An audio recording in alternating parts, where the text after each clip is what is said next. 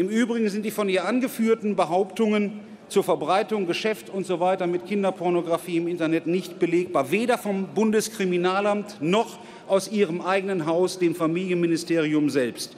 So auch in der Taz am 15.06.2009. Es sollten die Ursachen abgestellt werden und nicht in einem hyperaktiven Aktionismus versucht werden, Symptome zu behandeln. Und es geht. Im Rheinischen Merkur vom heutigen Tag steht noch, wie man auch zu einer Löschung kommen kann, ohne Sperrung.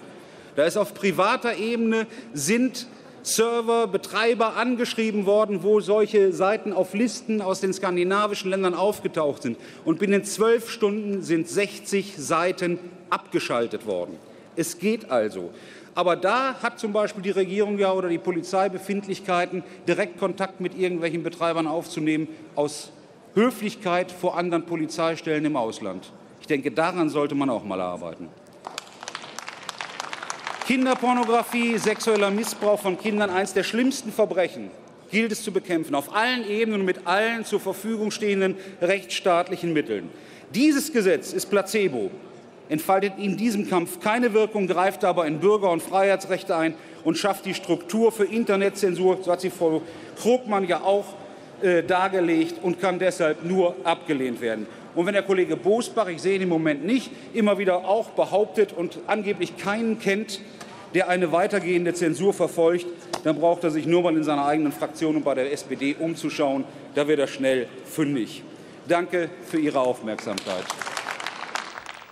Jörg Wunderlich von der linken Bundestagsfraktion war das. Äh, und der nächste Redner in dieser Debatte ist Wolfgang, Wolfgang Wieland von den Grünen. Er ist der Sprecher für innere Frau Sicherheit. Präsidentin, meine Damen und Herren!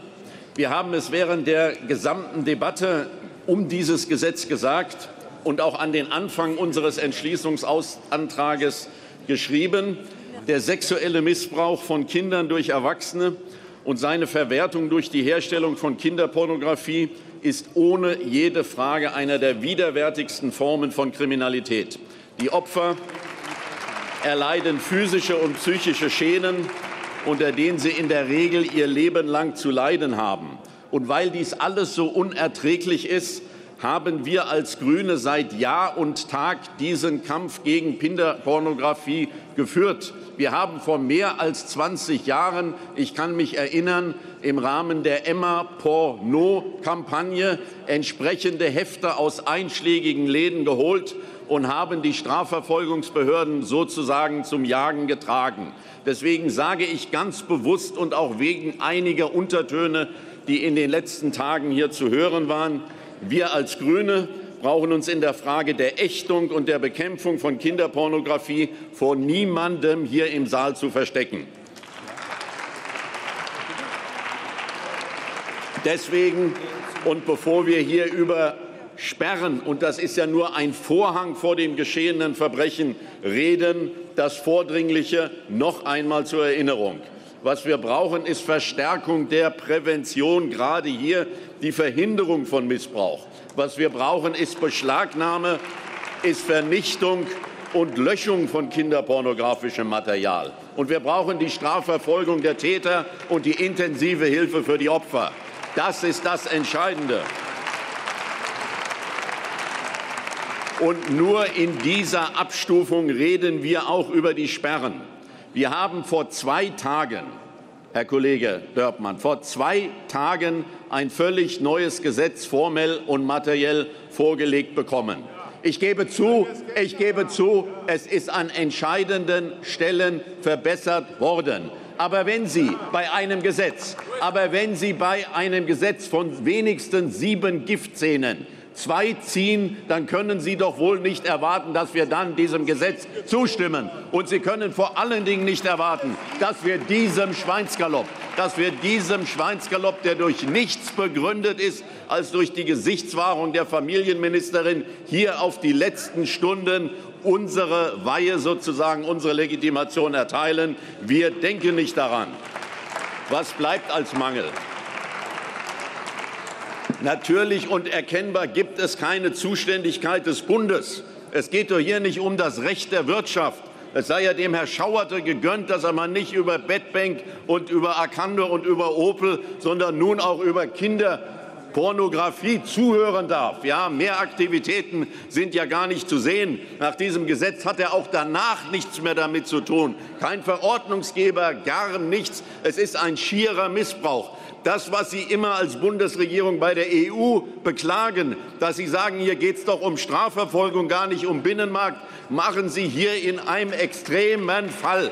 Ein reines Polizeigesetz wird unter der Flagge Wirtschaftsrecht hier durchgesetzt.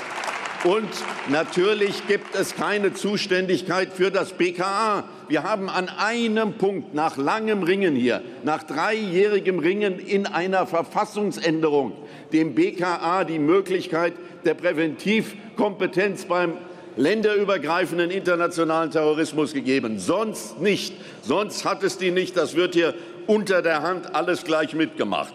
Und jetzt schreiben Sie, wir haben das letzte Mal gesagt, der dritte Mangel, gibt es denn keine Richter mehr in Berlin, in Deutschland? Nun tauchen sie auf. Es wird gesagt, der Verwaltungsrechtsweg ist bei Streitigkeiten gegeben. Steht in der Verfassung. Man kann auch Überflüssiges, wenn es denn richtig ist, noch mal in ein Gesetz schreiben. Nur das löst doch das Problem nicht. Sie wollen offenbar mit Verwaltungsakten vorgehen. Das ist schon ein Fortschritt gegenüber der Ministerin, die hier Vertragsgestaltung wollte. Nur dann müssten Sie konsequent sein und müssten auch anhören, müssten auch ein Widerspruchsverfahren geben. Dann müssten Sie Verwaltungsverfahren gelten lassen. Das tun Sie nicht. Sie haben noch nicht mal den Datenschutzbeauftragten angehört. So anhörungsfreundlich sind Sie. Der hat es aus der Zeitung erfahren. Er weiß seit zwei Jahren von seinem, zwei Tagen von seinem Glück, genauer gesagt von seinem Unglück. Denn er soll, und da hat er doch recht, als unabhängiger Beauftragter für Datenschutz und für Informationsfreiheit. Darauf legt er Wert, nun Teil eines Kontrollinstrumentarium werden, eines kontinuierlichen, ständig arbeitenden Kontrollinstrumentariums, um gerade diese Informationsfreiheit einzuschränken. Das ist ein Missbrauch seiner Stellung, und er wehrt sich zu Recht dagegen. Warum brauchen Sie, warum brauchen Sie fünf, fünf Menschen in einem Gremium? Warum brauchen Sie einen zwangsverpflichteten Datenschutzbeauftragten? Ein Richter würde langen, und vor dem drücken Sie sich. Ein Richter, der das Ganze anordnet, wie es auch sonst im Polizeirecht ist, wenn in die Rechtssphäre der Bürger eingegriffen wird, relevant eingegriffen wird und nicht zufällig eingegriffen wird. Warum gehen Sie diesen Schritt nicht? Das müssen Sie uns erklären und hier nicht rumpolemisieren gegen Peter Schaar. Abschließend, abschließend, Frau Präsidentin.